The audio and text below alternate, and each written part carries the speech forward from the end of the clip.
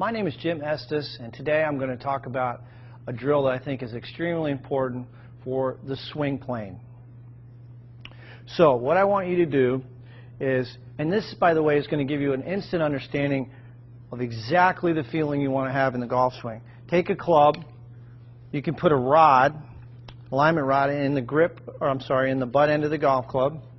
Take the golf club, turn it like you're going to hold it, and then what I want you to do is take that club, put it right against your left hip, so you're holding both clubs here. Now you've got an alignment rod on the ground and a golf ball.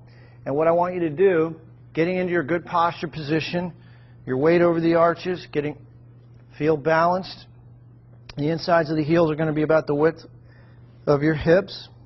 Take a swing back, slow motion, and trace with that alignment rod the target line all the way up.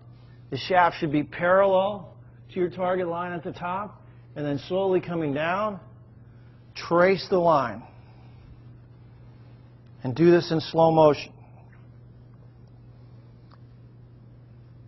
Right into the impact position. So this is a great feedback tool, visual feedback tool for learning the proper swing plane. Go right to your impact position. I encourage you to do this drill in slow motion. And if you have five minutes a day, if you do this drill every day, I guarantee you're going to improve your golf swing. So again, I think you'll find this to be extremely helpful.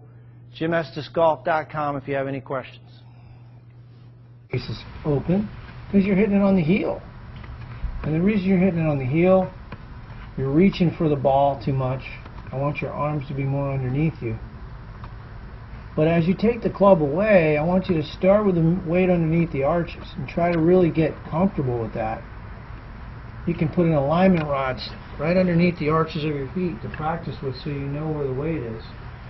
And then as you take the club away, what's happening is because your weight's in your heels, you're loading your toes, your head's dipping into the ball.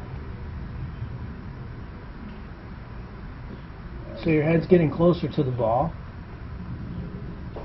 But that's good position. Club coming in, but that's a heel strike right there. Right. Your hips have come forward just a little bit. Here's address. Here's impact. But it's a very good swing. Now, if your miss is to the right, it's more related to contact than it is to face angle. So I want you to take some tape, put it on your club, and see where your strike is. Because you, I don't know that you're feeling that, but technically, it's all set up for you. Too much weight on your heels and not not getting deep enough on the backswing into your right heel on the backswing. It's nothing too major, I guess. No, not at all. The swing's good. I mean, you're doing the things we're working on. Right. Takeaway's good. Club face is pretty good at the top. Coming down's good. You're just catching it a little on the heel.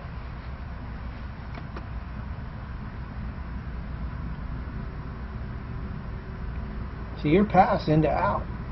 Good club head speed. Spin numbers are really high. Catching it on the heel. 5,000 RPM is a ton.